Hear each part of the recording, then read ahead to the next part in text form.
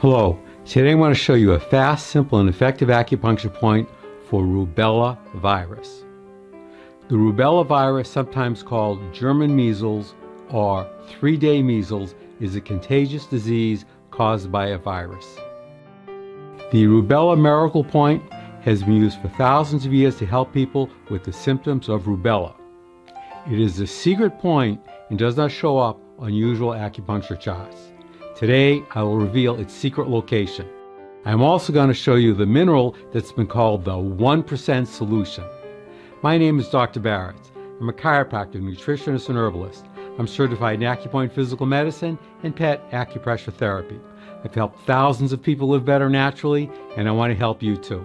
If you like this video, please give me a thumbs up, subscribe, and hit the bell icon to be notified when more videos like this come out.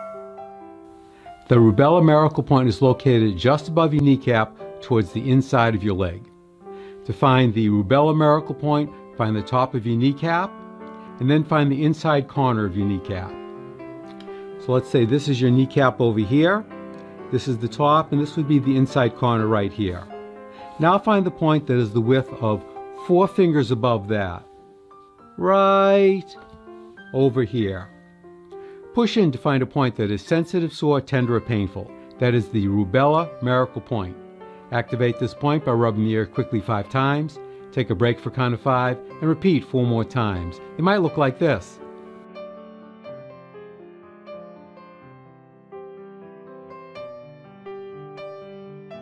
Or if you have a Teishin, which is a spring-loaded acupuncture instrument, it might look like this.